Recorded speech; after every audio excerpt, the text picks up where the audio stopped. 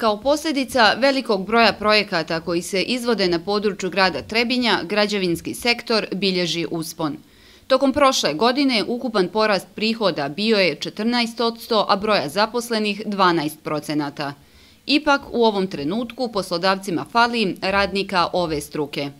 Upravo zato gradska uprava subvencionisaće poslodavce financiranjem 60% neto zarada radnika koji se uključe u program prekvalifikacije uz obavezu poslodavaca da ih zaposle za stalno ili na period od dvije godine.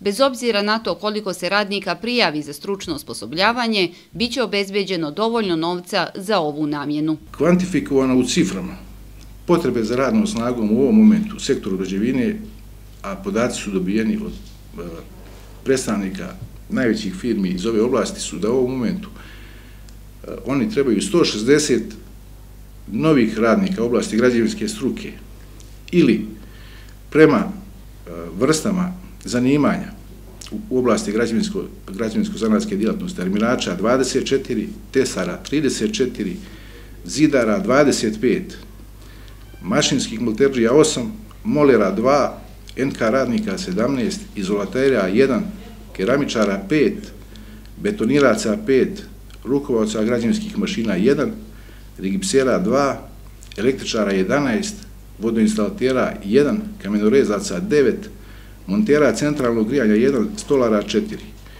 I iz oblasti e, visokih škola diplomiranih ekonomista 1, mašinskih inženjera 3, inženjera elektrotehnike 5. Drašković kaže da treba da se promoviše aktivna politika upisa u srednju građevinsku školu. Neophodna je i saradnja svih nadležnih u ovoj oblasti.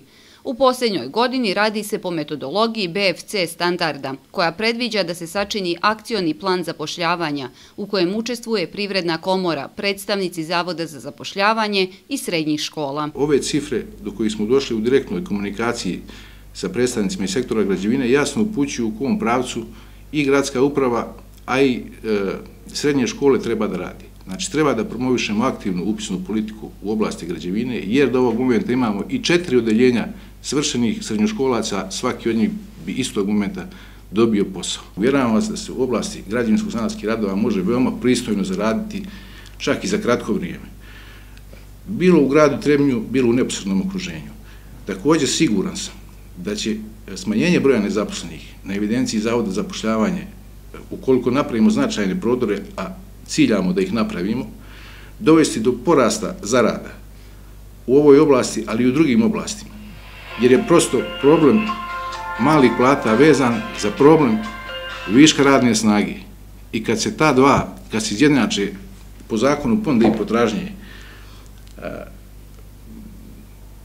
potreba za kvalifikovanom radnom snagom koja, koja, će, koja će postojati u deficitu i potreba e, preduzeća, onda će morati da dođe do broja, morat će doći do porasta zarada ukoliko je broj nezaposlenih lica manji. Drašković je istakao i da je ova gradska administracija krajem 2016. zatekla 2970 lica na evidenciji Zavoda za zapošljavanje, koji aktivno traže posao, te da je taj broj sada smanjen na 2540.